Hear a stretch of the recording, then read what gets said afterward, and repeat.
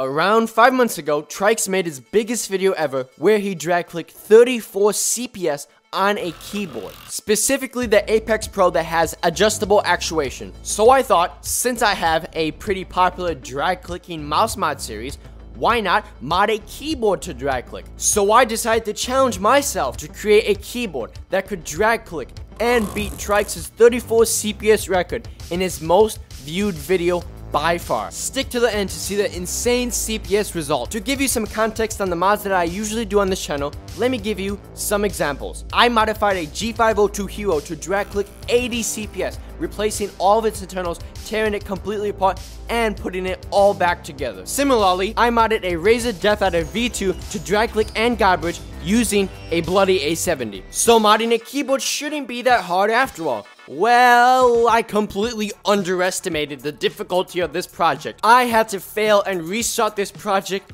countless times in order to get the keyboard to work right. Before I bring you along this insane modding journey, I want to emphasize that this video is in no way hate towards Trycs or Bob. It's just a fun project I decided to challenge myself on. Fun fact, about a month ago, I made a bet with an IRL friend that I would reach 30,000 subscribers before the school year starts. School is only one week out and dropping a sub would be highly appreciated. Now, enjoy the rest of the video.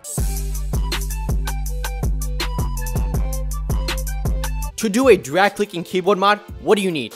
A keyboard of course, so the first thing I did was go through my parents' old electronic stash that they built up over the years. Sadly, I couldn't really use many of them because most of them had old style PS2 ports instead of USB. Although a lot of them were good prospects for the mod, I really couldn't use them. So I ended up just deciding to choose this Russian slash American USB keyboard to do the mod on. For these types of mods, you never really know how many attempts it's gonna take to get the mod actually working. So let me run down my first mod attempt for you. Basically, my idea was to take apart the Bloody A70, remove one of its switches, and then extend that switch using some wires. Since the Bloody A70 drag clicks by default, it would be smart for me to place that micro switch beneath the keycap of the keyboard. So whenever the spacebar is pressed down, the top of the keycap will hit the micro switch, resulting in a click. Therefore, if I drag click on the spacebar, all the clicks will be registered because the Bloody A70 will be doing the work. Following through with the plan, I took apart my Hydrajet Bloody A70,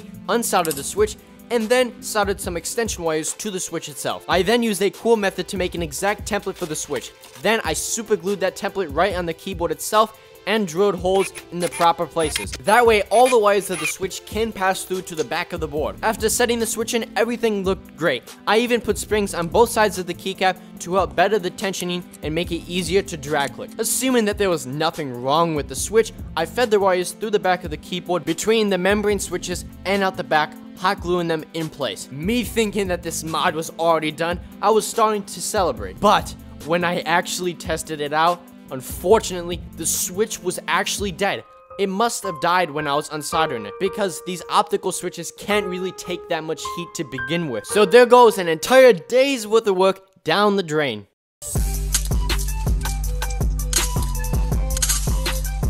Okay, but in all seriousness, I did not expect that keyboard to snap like that. That was insane. For my second attempt, I chose not to do the same thing again. Instead, I chose a more ambitious approach. After playing around with the Bloody A70 circuit board, I noticed that if you hotwire two of the pins on the board, that it actually registers a click. So I thought, what if I make my own switch? To do this, I got some spare copper pipes and then I flattened them down on an anvil. To make them as conductive as possible, I sanded them down until they were really shiny. Then I cut down the smooth copper into small little squares and soldered each square to each wire. To make the switch, I glued one wire to the top of the keycap and one other wire to the base of the keyboard. But believe me, no matter how many times I tried adjusting the position of these contacts, I simply could not get them to drag click reliably or at all. Unlike traditional switches, these contacts have no form of tensioning or pushback that a normal switch does. Therefore, it's pretty much impossible to make these drag click at all because there isn't a way for these contacts to reset once they've been clicked. Sadly, that is another day of modding gone. Luckily, in my third and final attempt, I was able to come up with an idea that actually worked. But before we move on to that, let me play you a quick sarcastical skit I made showing you how I kind of came up with this mod in the first place. Um, I definitely did not spend too much time making this. Welcome to Helix's brainstorming session. Do any of you have any 1 million view ideas? Ooh, here, here, here. Go for it, buddy. Okay, get this. What if you fill a bag full of mice and shake it? Ooh, I like the idea a lot. You can get tons of CPS doing that probably, and it's super creative. Good job. Let's see if anyone did that. What? Someone already did that. That's actually kind of crazy. Unfortunately, we can't do this idea. Trycs already did it. Okay, moving on. You, go for it. Here's my idea. What if you drag click three ah! mice at the same time? Not bad, not bad. Let's see once again if anyone else did that. Oh, come on, Trycs did it also? This dude's on top. Okay, one final idea. You over there in the corner. What's your idea? Okay, what if you somehow drag click on a keyboard Maybe that'll work. Somehow you could figure it out, I guess. I like the idea the most. I don't think anyone's done that. Final try. Hopefully this dude tries to do it. What? He actually did it. Wait a second. 4.5 million views. We gotta look into this further. So he got 34 CPS drag clicking on a keyboard. A G502 keyboard to drag click 80 CPS. Came out a Razer Jet V2 to drag click and Guys, I might just have the best idea. Now that that fever dream of a video is over, let me know in the comments below if you think I should do more green screen type skits like that in the future.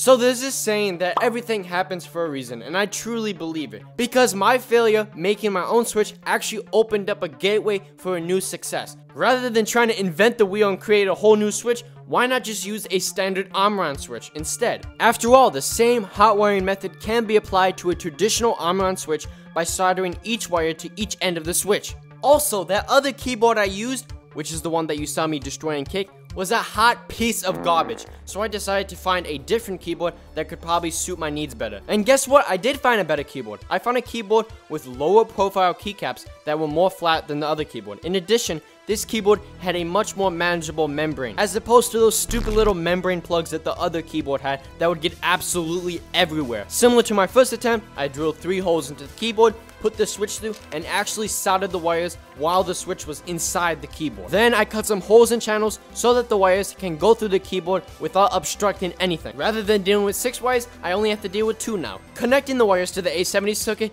I noticed some glaring problems. First of all, the drag clicks was super inconsistent. I think this is due to some bug with the circuit board. I noticed for some reason that is completely unknown to me that if you flip the bloody A70 circuit board upside down, it would not register any clicks. It would register like 2 CPS. But if you put it face down on the table, it registers all the clicks. So I decided to pitch the A70 circuit board because I did not want to risk this not being able to drag. Instead, I used a classic mouse that is a huge part of this channel, and that is the $1 80 CPS drag clicking mouse known as the Dell MUR-A7. This cheap little mouse is a beast at drag clicking and I have 11 of them. And all I had to do was solder both of the wires to one of the switches on the circuit board. Testing it out, it worked amazing. The keyboard could actually register all the drag clicks. Now being confident in my invention, I decided to package everything inside of the mouse case. So the mouse would be like a drag clicking module for the keyboard. After struggling for nearly three days on this project, it was such a relief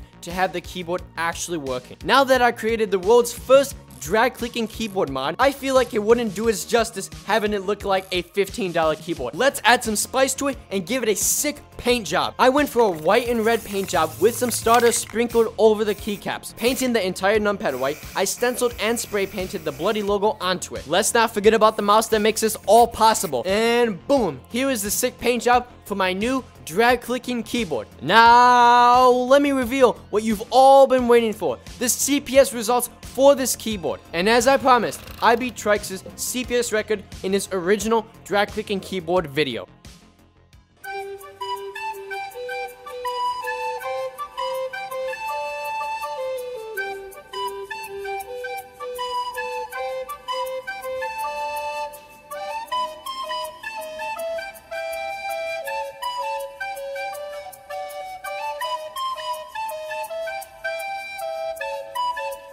Yugonaichi. It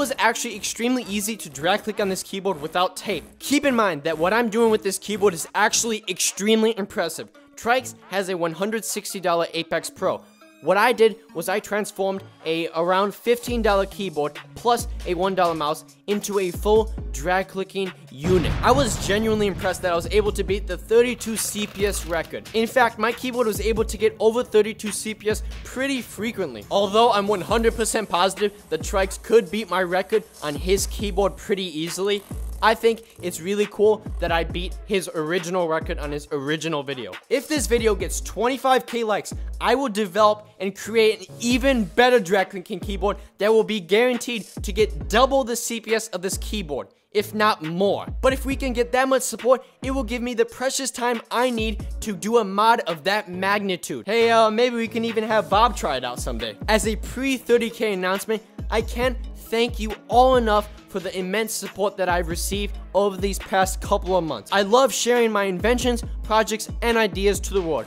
and I hope all of you have a wonderful day. I'll catch you in the next mod video.